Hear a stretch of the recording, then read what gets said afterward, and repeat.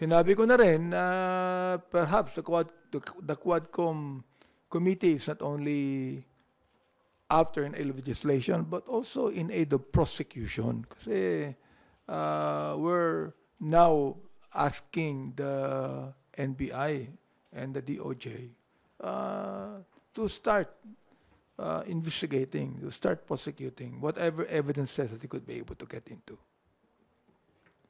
Meron po ba tayong particular na ah, timeline or from ah, within the term of President Duterte, former President Duterte, yun po yung balak na tinamalaman sa AMLAC at saka sa COA. Hindi lang po ba Intel funds but also the confidential funds from 2016 to 2022?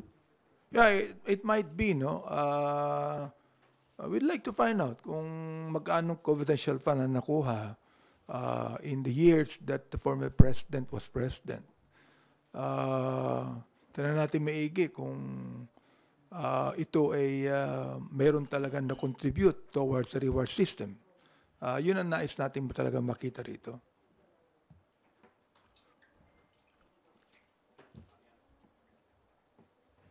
Sir, sorry, you just mentioned po na hindi lang po kayo after in aid of legislation but also in aid of uh, prosecution. But um, Attorney Harry Roque po sa kanyang video na inilabas, uh, pinost niya po kanina a few hours ago, said na hindi naman daw po trabaho ng Kongreso ang uh, in nga in aid of prosecution kundi ng executive also sinabi niya na hindi siya pugante dahil wala naman daw siyang nilabag na batas dahil legislative contempt lang naman daw po yung ipinataw sa kanya Uh, totoo yun. Uh, we're not here to prosecute. That's the reason why uh, hinihiling namin sa uh, NBI, sa DOJ, uh, na simulan ng investigasyon.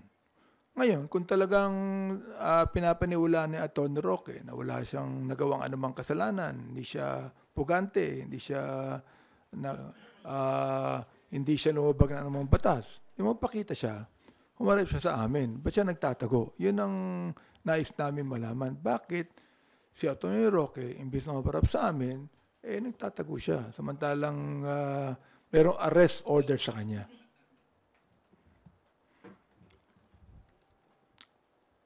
Hi, Sir. Zandro Ochoa pa from Billionario. Sir, um, so aside from the uh, Intel funds, are you looking at other sources of yung funds na ginamit for rewards? Actually, uh, Colonel Espinido made a statement in our first Quadcom hearing na talagang mayroong reward system. Tinanong namin kung saan ang gagaling ang reward system. At sinabi niya, nanggagaling ito sa mga gambling money. For example, STL. Uh, uh, for example, Pogo. Yan ang sinabi niya, no? Now, um, meron itong uh, tina- uh, connection din naman sa sinabi ni Colonel Garma na talaga mayroong reward system. Although hindi niya talaga tinukoy kung ito ay galing sa STL. Tinukoy lamang niya na mayroong pondo na nakalaan dito, may nagtatago ng pondo nito, things like this. So, So, sir, pwedeng all of the above? Pwedeng Pogo, STL? pwede, pwede, pwede. More, more than one? Yes, pwede. Pwede rin na ano eh na kung kung yan ay talagang operational expenses at tinatawag. Siyempre, uh, that would appear. Mag-a-appear yan sa COA, mag-a-appear yan sa uh, pag-imbestiga doon sa mga intelligence fund and confidential fund na nakalagay ng operational expenses. Ang gusto nating malaman, paano ginamit itong operational expenses na ito? Kasi actually, pag sinabi nating operational expenses, na binibigay bago ang operation eh. O, hindi binibigay yan after the operation. Uh, so it's not actually a post-operational expenses. But before any operation can can be done, merong tinatawag nating operational expenses. We understand that. Oh. But not the reward for policemen killing another person for that matter. So, sir, may, possible na dirty money yung ginamit for the reward system? It can be possible. Yes. Oo. Eh, And sir, last na lang on my part. Yung may binabanggit si Colonel Garma na yung Copland pala, sir, hindi pala pinapondohan ng PNP. Yung? Nagaga- yung yung Copland po, yung ah, ah, yung yung mga planned na operations. Ah, hindi pala siya pinapondohan ng PNP, nakasanayan na daw on ground na fr- pumupunta yung mga pulis sa mayor. Ano an, may, may, may ganun po ba? uh, uh, I do not know a lot of things about that. Although, syempre, ang atin namang mga kapulisan, pumupunta yan sa LGU, no? Especially kung talaga meron silang operations and they would be asking the LGU for help. Ah, okay lang yun eh. Okay lang yun eh. Unless otherwise, ang talagang papatay nila, mayor din naman. Oh, the thing is, uh, uh, in the past, uh, in the last administration, I think there were nine mayors that were actually killed. Yun nga sir, ano would we go as far as isa-isahin tignan yung mga kaso na rin na ito kung connected? Tinanong namin to eh. Ang sinabi lamang ni Colonel Garma na merong police officer na involved ay yung yung pagkapatay kay, kay Mayor Halili, no? I was the one that asked, halimbawa naman yung pagkakapatay sa Mayor ng Los Baños, si Mayor Perez. Drugs din yun eh. At ang napagbintangan ay konsyal. In fact, right now, i- the, the councilor is still in jail. Oo. Yung ba, eh, police operation din to. Wala siyang sinabi, hindi niya raw alam yun.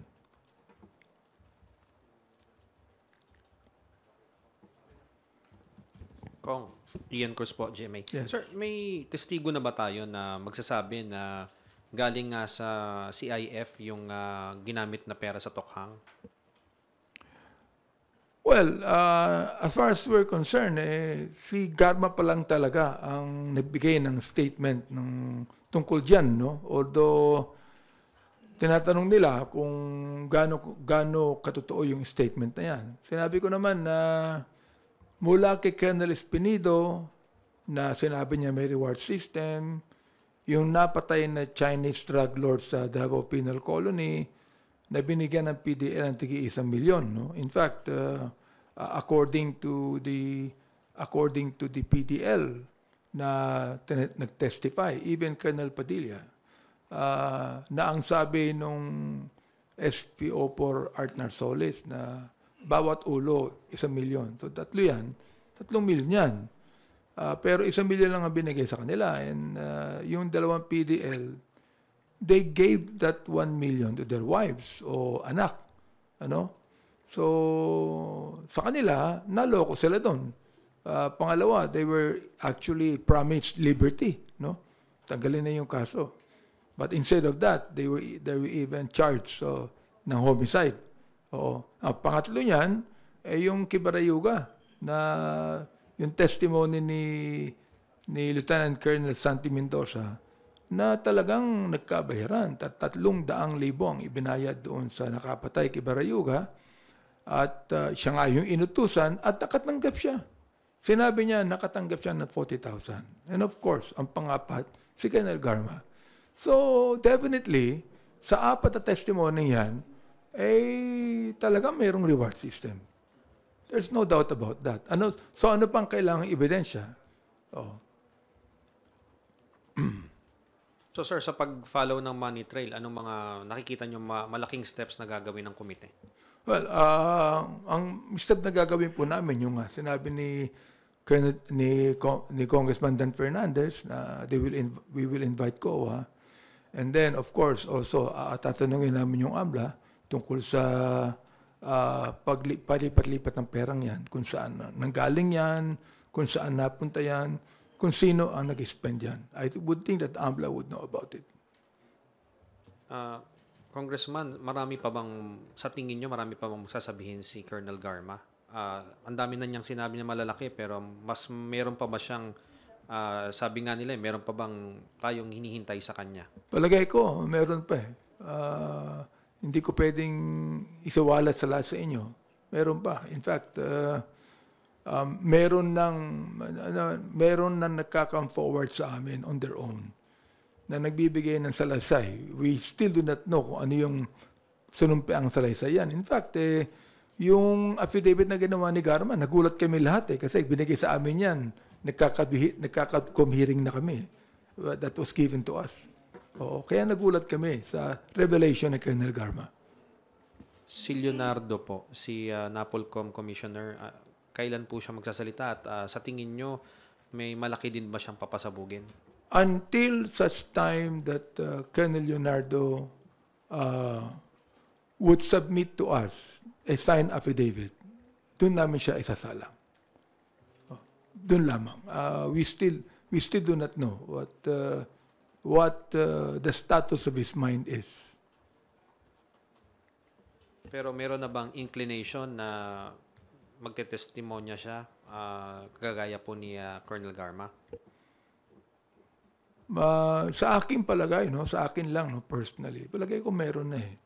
Uh, we only do not know when that would be or perhaps in our next hearing, uh, he'll be submitting to us ang isa kanyang sign na, pan, na sinumpaang patsalaysay, whatever it might be. Eh, sana, uh, this coming uh, October 22, no, supposedly, when we have the next hearing, na may sasalang namin si Colonel Leonardo. Congressman, yung mga class 96 at 97 na mga PNPA, meron na bang naglumapit sa inyo na sinasabing may nalalaman din po sila? Ah, wala pa naman. Wala pa naman lumalapit sa amin. Ay, Yes.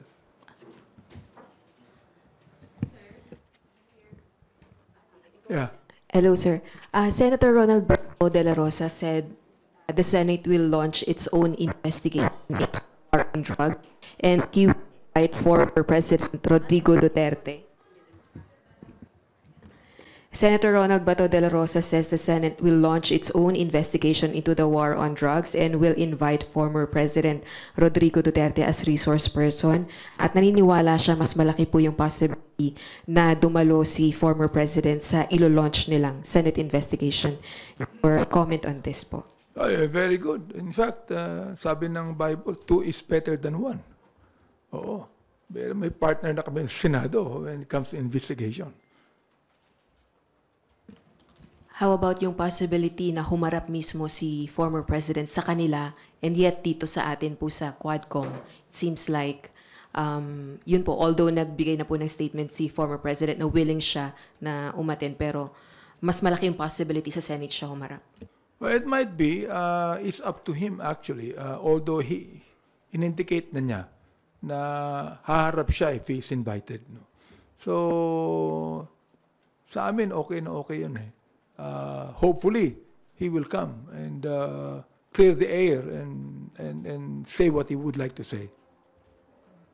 You mentioned earlier, Kong, na ah, next hearing, EJK ulit yung topic.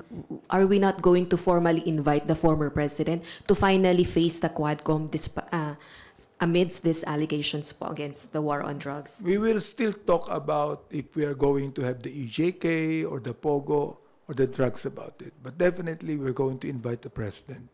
I do not know when, no? Uh, uh, sa akin, if we're going to invite the former president, eh, uh, hindi muna namin iimbitahin ng maraming mga iniimbita namin, no? So that uh, he could be able to freely uh, uh, say his piece. Mahirap naman kung napakaraming iimbitahan namin and then maghihintay siya ng matagal. We do not want uh, we do not want that to happen.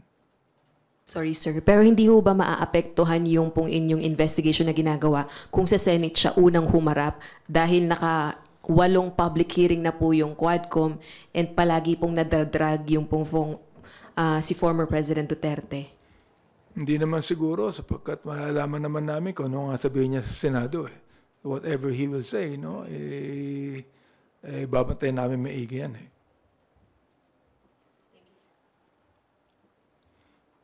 Yes. Sorry. Good morning po. Uh, Lianes Capante, GMA News Online. Uh, I asked uh, Secretary Panelo yesterday about po yung plano ng Quadcom to investigate the possible use of Intel fund to fund the uh, reward system Yes. in killing drug suspects. Ang sabi niya, one, uh, one cannot launch a successful war on drugs without effective legal strategy, which necessarily will involve funding from the government. Police operations must be sufficiently financed for effective enforcement of the laws against drug trafficking. But he did not mention flat out na we did not use the Intel Fund. Wala siyang ganong statement na categorical. Do you think, uh, how do you find that statement? Is it, it is that statement, lack of categorical statement, just confirms what the others have testified po sa Quadcom? Yeah, I respect his own legal opinion opinion on that. No? Marami naman siguro mga legal opinions ng iba't ibang abogado. No? That is own legal opinion. Sir, confirmation kaya yun na nagamit nga yung Intel Fund. He did not men- ang haba ng statement niya, but he did not mention about anything na hindi namin ginamit yan. Ah, ano ibig sabihin ng hindi namin ginamit?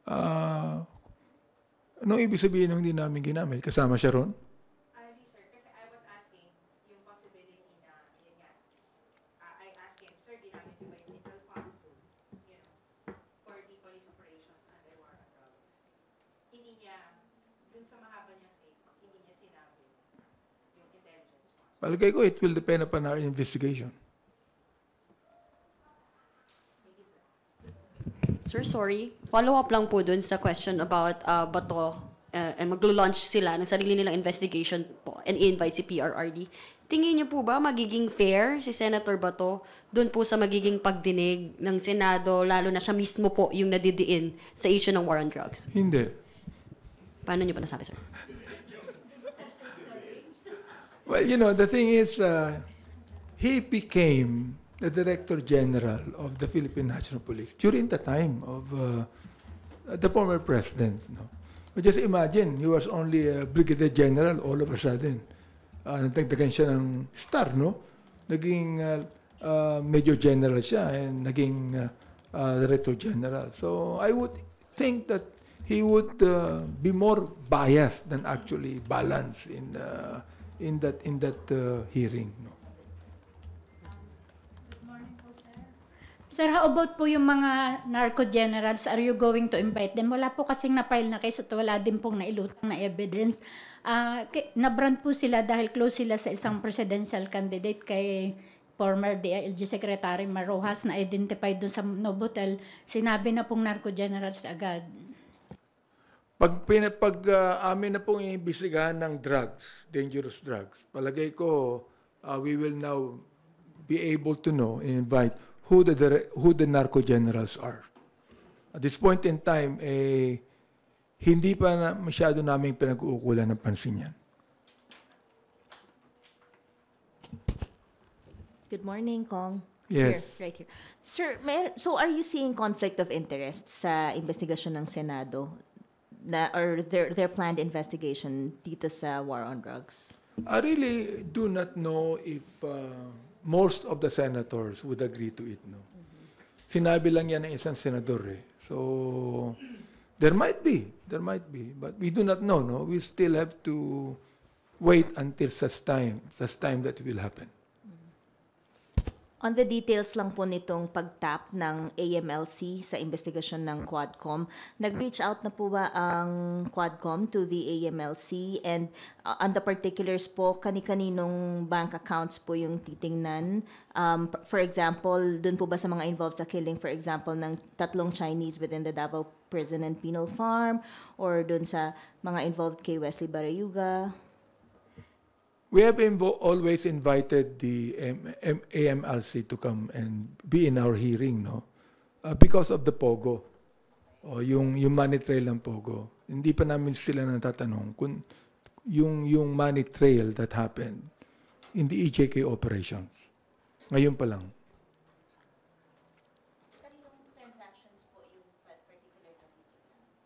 Yung? Uh, on the revelation, on the basis of the revelation of uh, Colonel Garma.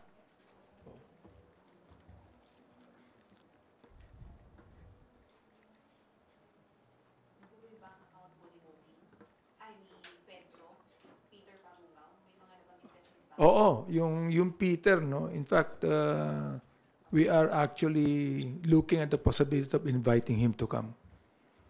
Kung sino man yung Peter na yun. Wala nakakakilala kung sino siya eh. Yes, because siya, siya yata yung humahawak ng bangko eh. I don't actually know about it.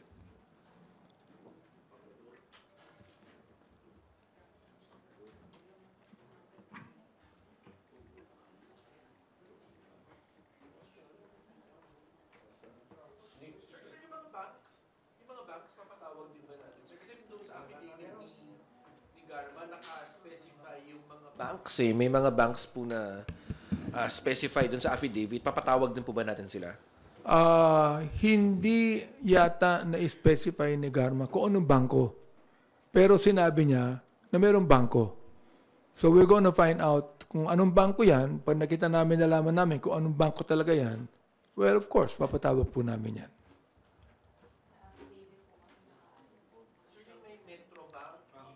Ah, kung naka-specify yan, we will call on them. Mm, Definitely. You, you don't see naman na magiging hurdle yung bank secrecy.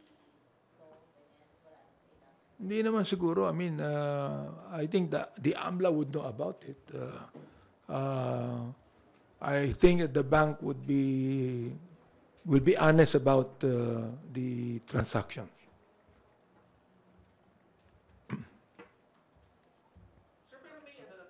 May, may, may, kasi sir, even yung sa Intel funds, parang hindi pa talaga concrete yung what we know right now. Sa tingin niyo, sir, um, in the next hearing, malilink na yung possible sources na STL, POGO, and yung Intel funds? Sa tingin niyo, mabubuksan na po doon o medyo...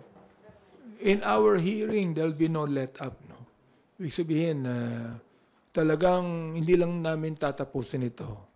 But we will do everything we can to let the people know kung talagang ano nangyari dyan. Kasi sinimulan na namin eh. And uh, of course, this is about politics, no? Uh, the thing is, uh, we, we would like the people to know na talagang kami, eh, gagawin namin na lahat para ma-expose lahat itong mga shenanigans na ito, ma-expose lahat itong mga illegal na gawain ito.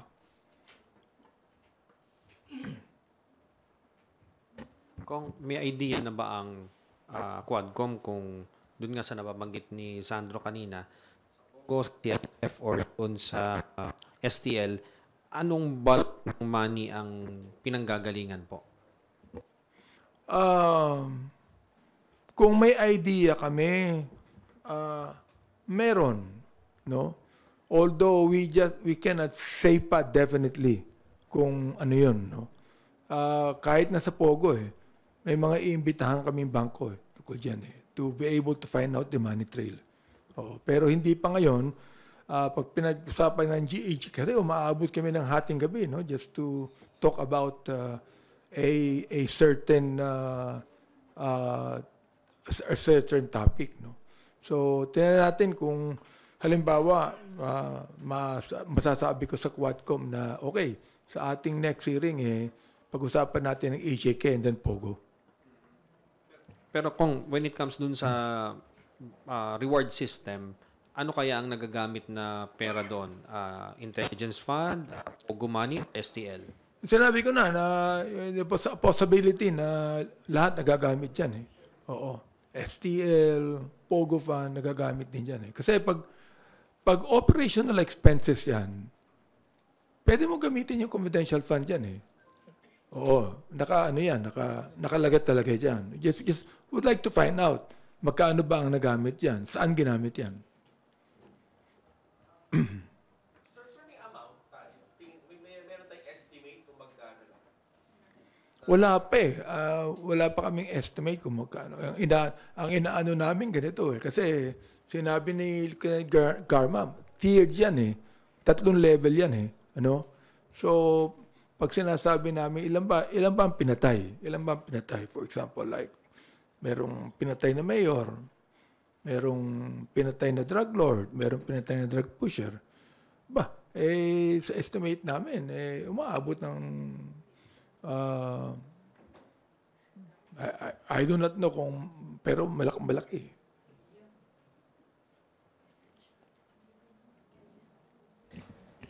Hi Sir, uh, Mela from PTV po. Sir, yung dalawang ano lang, yung dalawang bills na final ng uh, Quad Committee uh, Chairman, ah, kailan po kaya masusunod? Kasi nababanggit nyo sa mga uh, pagdinig, mas marami kayong uh, inaay na panukalang batas na ihain uh, mula dun sa mga natutuklasan nyo sa mga pagdinig. Kailan po kaya yung susunod na magiging paghain ng mga panukala ng uh, uh, Quadcom? At ano-ano yung mga susunod pang panukala na uh, ihahain pa natin mula dun sa mga naungkat natin sa investigasyon? Pinag-aaral na namin yung pangatlong batas on the espionage bill.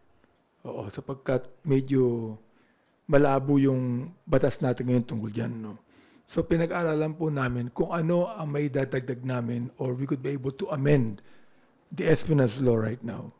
So I think there's about uh, mga mga 15 na mga na mga draft bills na ipa-file namin including the ano eh including the uh, the death penalty bill on heinous crimes.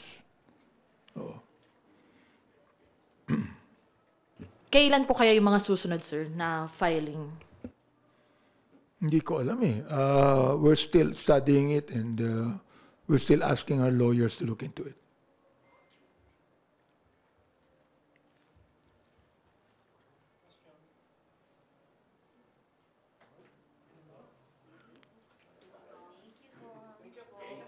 Salamat. Can I just say something? Ano?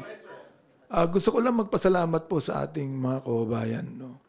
That are, ah, kasi marami ko nakakausap na napupuyat sila no? na pinapanood tong Quadcom hearing. And I just would like to thank them for the interest na meron sila na malaman ang nangyayari sa ating bayan. Maraming maraming salamat po sa mga taga-suporta ng Quadcom at uh, makakaasa po kayo. We'll do everything we can for our own country para po sa ating bayan. Maraming maraming salamat po sa inyo lahat.